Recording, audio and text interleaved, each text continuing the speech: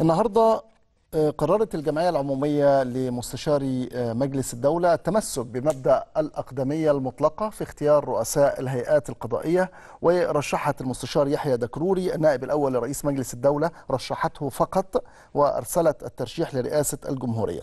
الجمعية اللي بتضم 1109 من القضاة قررت بالأغلبية عدم ترشيح ثلاث أسماء كما هو منصوص عليه في القانون رقم 13 لسنة 2017 المعروف بقانون السلطة القضائية. قررت التمسك بمبدأ الأقدمية اللي من خلاله هيكون المستشار يحيى دكروري هو المرشح آه، لخلافة المستشار محمد مسعود رئيس مجلس الدولة الحالي واللي هتنتهي ولايته في 19 يوليو المقبل.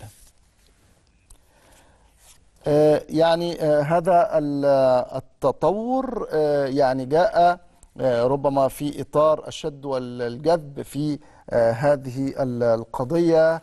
التي آه، أثارت ولا تزال آه، جدلا آه، وضجة كبيرة آه، لأن مستشاري مجلس آه، الدولة آه، من خلال جمعيتهم جمعياتهم العمومية قرروا التمسك بمبدأ آه، الأقدمية الأقدمية المطلقة في اختيار رؤساء آه، الهيئات ال- القضائية. آه، معايا النائب آه، الكاتب الصحفي الأستاذ مصطفى بكري آه، عضو مجلس النواب. أستاذ مصطفى مساء الخير.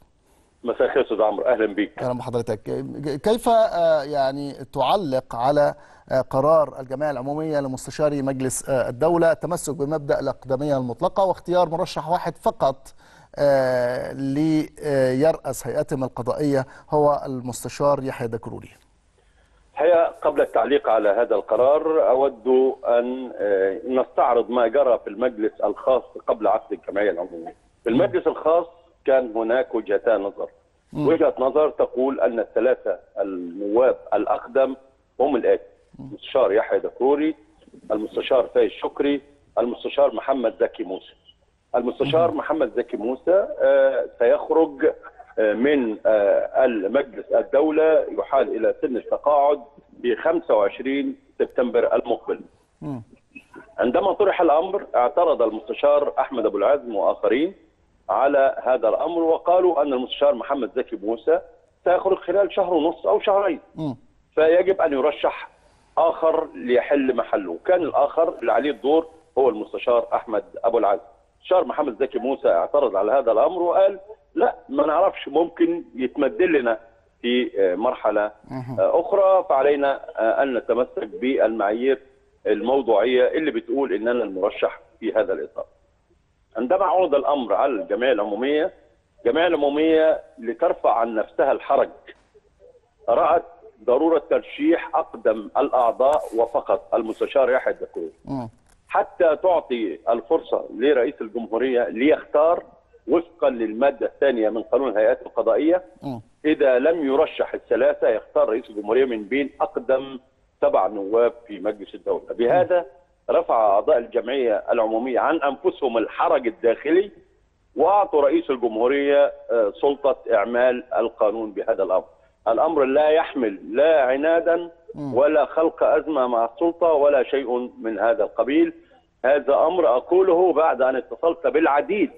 من آه، نواب رئيس مجلس الدولة والشخصيات آه، صاحبه القرار داخل آه، مجلس الدولة وعلمت منهم هذه المعلومات. يعني يعني أستاذ مصطفى كل ما ينشر منذ أن قام مجلس الدولة بإرسال اسم مرشحهم المستشار يحيى دكروري كل ما ينشر من أن هناك صدام بين الجهتين يعني غير صحيح.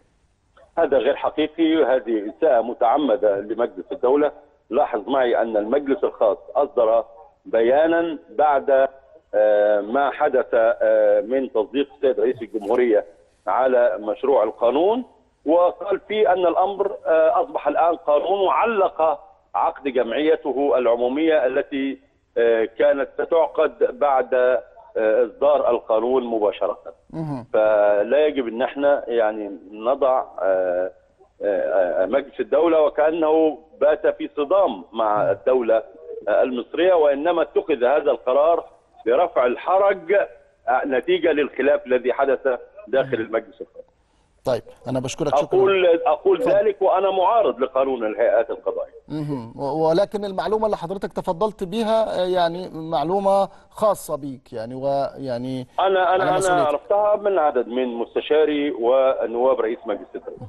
شكرا جزيلا آه، ال- الكاتب الأستاذ مصطفى بكري عضو مجلس النواب.